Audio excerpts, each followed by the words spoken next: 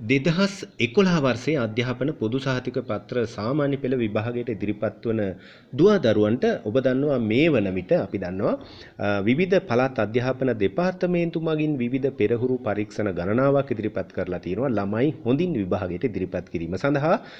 අද අපි ඉදිරිපත් කරන්නේ මේ වන විට ඉදිරිපත් කරමින් එන පෙරහුරු පරීක්ෂණයක දෙවෙනි ප්‍රශ්න දෙවෙනි කොටසේ තවත් ප්‍රශ්නයක් සාකච්ඡා කිරීමට අපි මේ වන විට ඌව පළාත් අධ්‍යාපන දෙපාර්තමේන්තුව මගින් ඉදිරිපත් කරපු මේ පෙරහුරු පරීක්ෂණයේ පළවෙනි ප්‍රශ්න පත්‍රයත් ඒ වගේම දෙවන ප්‍රශ්න පත්‍රයේ මෙන්න මේ දෙවන කොටසේ ප්‍රශ්න 10ත් ඊළඟට දෙවෙනි ප්‍රශ්නයත් දෙවෙනි ප්‍රශ්නයත් සාකච්ඡා කරා මීට පෙර අපි බලමු මේ තුන්වෙනි ප්‍රශ්නේ. තුන්වෙනි ප්‍රශ්නේ එක කොටස අපි බලමු මොකද්ද ප්‍රශ්නේ කියලා. බුදුරජාණන් බුදුරදුන් පරිසරය ආශ්‍රිතව වස්විසු ස්ථාන දෙකක් නම් කරන්න කියලා තියෙන්නේ. එතකොට අපි දන්නවා බුදුරජාණන් වහන්සේ පරිසරය ආශ්‍රිතව වස්විසු ස්ථාන ගණනාවක් තියෙනවා නේද? මොනවාද ඒවා?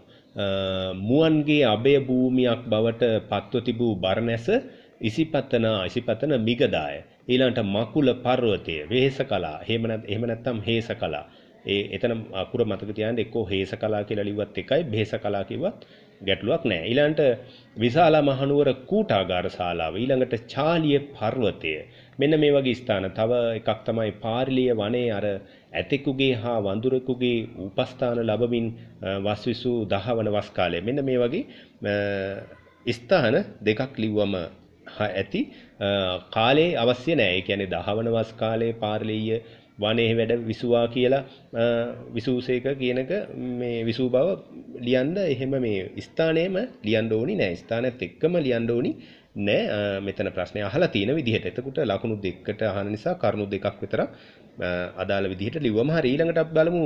මේ තුන්වන ප්‍රශ්නේ දෙවෙනි කොටස අහන ප්‍රශ්නේ තමයි පරිසර සංරක්ෂණය වෙනුවෙන් බුදුරදුන් භික්ෂූන් අරඹයා දේශනා කර ඇති කරුණු. මොනවද කියලා අහන්නේ. මෙතනත් ලකුණු තුනකට ලියන නිසා ළමයි හොඳට මතක තියාගන්න ලොකු දීර්ඝ විස්තරයක් කරන්න යන්න එපා. මෙතනදී වැදගත් වෙන්නේ අර ජල පරිහරණය. එහෙම නැත්නම් ජලය පරිහරණය කිරීමේදී භික්ෂුන් වහන්සේලා අනුගමනය කරන්න ඕනි. දේවල් පැහැදිලි කරලා තියෙනවනේ ඒවා උදාහරණයක් විදිහට අර ජලය පානය කිරීමේදී පෙරලා පානය කරන්න කියලා තියෙනවා. ඒකට හොඳ උදාහරණයක් තමයි අර පෙරහන් කඩේ නිර්දේශ කරලා තියෙන්නේ. පෙරහන් කඩක් නිර්දේශ කරලා තියෙනවා. අන්න ඒ කියන කාරණේ අපිට මෙතන උදාහරණයක් විදිහට යොදා ගන්න පුළුවන්. අනිත් එක තමයි මේ ඒ ජලය මත කෙල ගැසීම, ඒ වගේම ජලයට මල මූත්‍රා කිරීම, වමනය කිරීම ආදී දේවල් කරන්න එපා වගේ ওই කියන කරුණු ඇතුළත් ව විනය නීති පවා පනවලා තියෙනවා මේ බුදුරජාණන් වහන්සේ විසින් භික්ෂුන් වහන්සේලාට. ඔය එක කාරණයක්. ඊළඟට තවත් කාරණයක් අපිට ලියන්න පුළුවන් උපසම්පදා භික්ෂුන් වහන්සේලාට අර තනකොළ ගසක් මේ පවා කඩන්ඩ එපා කියලා ඒ කියන්නේ තනකොළ ගස පවා ආරක්ෂා කරන විදිහට බුදුරජාන් වහන්සේ උපදෙස් දීලා තියෙනවා.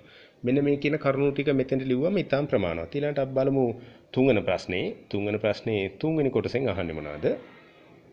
පරිසරය රැක බලා ගැනීම සඳහා ඔබට දායක විය හැකි ආකාරයේ සැකෙවින් දක්වන්න. මෙන්න මෙතනදී තමයි ගොඩක් විස්තරාත්මකව අපිට කරුණු දක්වන්න වෙන්නේ. විස්තරාත්මකව කරුණු ලියන්න තියෙන තැන තමයි මෙතන. එතකොට මෙතනදී අපි මුලින්ම අනිවාර්යයෙන්ම මතක තියාගන්න ඕනි මේ පරිසරය කියන එක පොඩ්ඩක් කෙටියෙන් ඊටාම කෙටියෙන් පැහැදිලි කරන්න ඕනි. කියන්නේ පරිසරය කියන්නේ අර අප අවට වටපිටාව කියන කාරණේ අනිවාර්යෙන් ලියවෙන්න ඕනි. ඊළඟට ජීවි අජීවි පරිසරය විදිහට මේ පරිසරයේ කොටස් දෙකකට බෙදෙනවා කියන කාරණයක් අපි පැහැදිලි කරලා තමයි අපි කොහොමද පරිසරය රැකගන්නේ කියන කාරණේ පැහැදිලි කරන්න ඕනි. එතකොට ප්‍රශ්නෙන් අහන්නේ පරිසරය රැක ගැනීමට ඔබට දායක විය හැකි ආකාරය.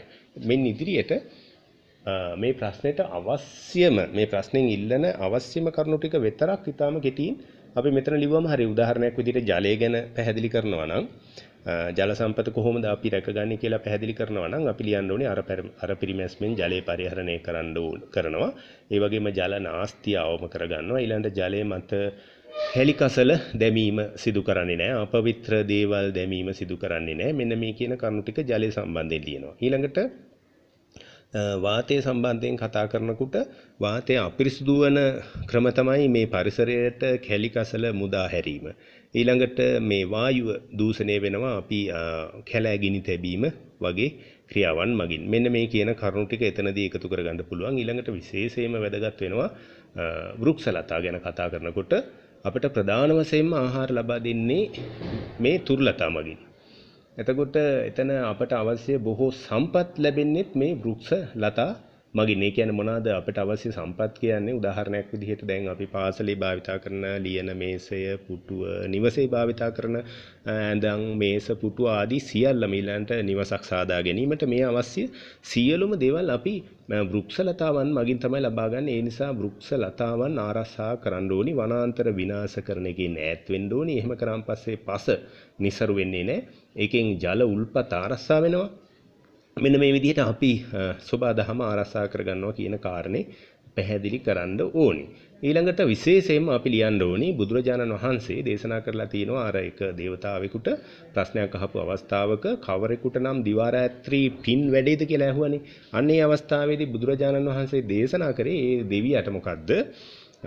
තුරුලතා වර්ධනේ තුරුලතා ආරක්ෂා කරන ඒ වගේම ගස්වැල් හිටවන මල් පළතුරු උයන් වවන ස්වභාවික වනාන්තර වවනවා නම් යම් කිසි කෙනෙක් ඒ දඬු පාලම් පැන්හල් පොකුණු ආදිය තනනවා නම් අන්න එයාට දිවා රැ පින් වැඩෙනවා කියලා බුදුරජාණන් වහන්සේ දේශනා කරා. එහෙනම් මෙතනදී ඊටාම වැදගත් මෙන්න මේ කියන කාරණේත් අනිවාර්යයෙන්ම සඳහන් කරන්න ඕනේ. එයින් අපිට මෙලොව දියුණුව විතරක් නෙමෙයි පරලොවදී සුගතිගාමි වෙන්නත් පුළුවන් කියන කාරණේ පැහැදිලි කරමින් මෙන්න මේ ප්‍රශ්නෙට කෙටි පිළිතුරක් සපයන්න. හැබැයි ওই කියන අදාළ කරුණු සියල්ල සපයලා